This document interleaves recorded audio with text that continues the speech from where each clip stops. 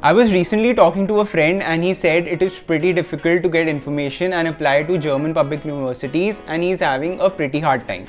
He said that getting guidance on other countries like the UK or Canada is easy, but with Germany it is very tricky. Well, on that note, I had an idea.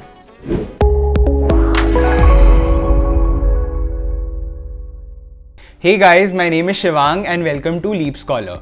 Well, whatever my friend said was true, so I thought why not simplify the whole process in 5 steps, yes, just 5, and make a video that helps everyone who wants to study at a German public university. This video will be super handy, so watch until the end. Also, I have some really good resources in the description box for you to check out, so do take a look. Let us dive straight in. Quite naturally, the first step is do your research and for that there are primarily two most credible sources you can use. First source is DAAD website or the German Academic Exchange Service. This website can help you find universities, programs, language of instruction of that particular course, intake, entry requirements, fees and scholarships.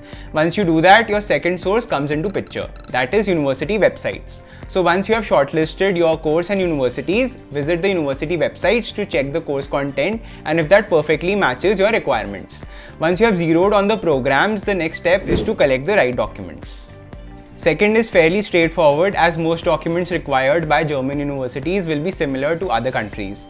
Your mark sheets and certificates, passport, proof of language proficiency, this can be German or English depending on the language of instruction, motivation letter and recommendation letters.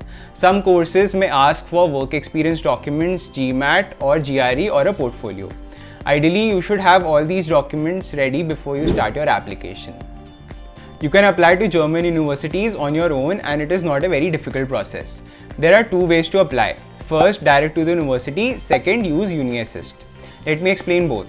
So to apply to the university directly, you go to the university website, create an account, fill the application form, upload all documents and pay an application fee if required and submit your application. All public universities will have a dedicated guide for international students telling you all about applying, documentation and other information available on their websites. In case you are not confident applying yourselves, you can seek help from UniAssist. UniAssist is a body funded by DAAD and is represented by 170 German universities that helps you with the end-to-end -end process to apply at German universities.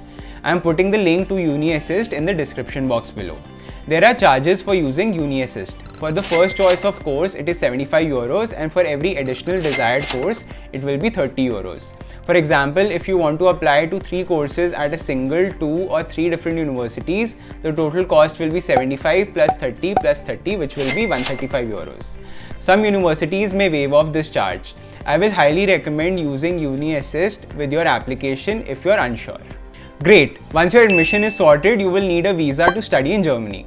Let us start with what all documents you need. Completed application forms, passport, biometric photos, proof of admission, language proficiency test, certificates and mark sheets, CV, health insurance, visa application fee, APS and financial documents.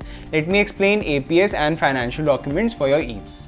APS certificate certifies that your level of qualification in your home country is similar to German universities. Without the APS, Indian students cannot apply for a student visa. For getting an APS, you will need to fill an application form and submit documents such as passport, mark sheets, certificates, language certificates along with an application fee of 18,000 Indian rupees. You can apply online. It takes 3 to 4 weeks to process the APS. Next, financial documents. For Germany, the easiest thing to do is to open a blocked account. So a blocked account is essentially like GIC in Canada wherein you will have to deposit 11,208 euros which you can withdraw as fixed monthly installments when you land in Germany.